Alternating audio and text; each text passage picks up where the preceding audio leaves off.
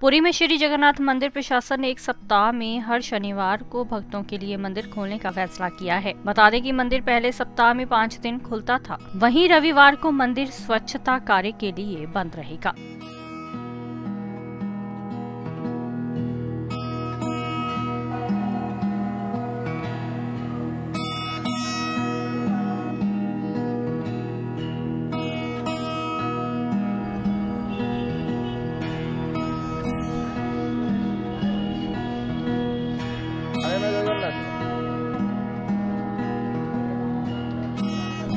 हरी बोला हरी बोला हरी बोला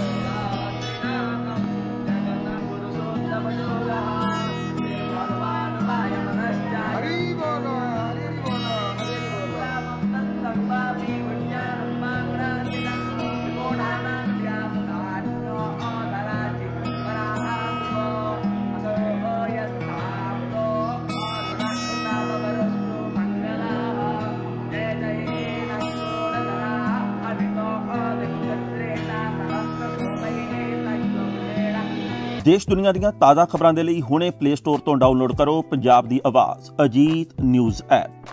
ਹੁਣ ਤੁਹਾਡਾ ਆਪਣਾ ਅਜੀਤ ਹਰ ਸੋਸ਼ਲ ਮੀਡੀਆ ਪਲੇਟਫਾਰਮ ਦੇ ਉੱਤੇ ਉਪਲਬਧ ਹੈ।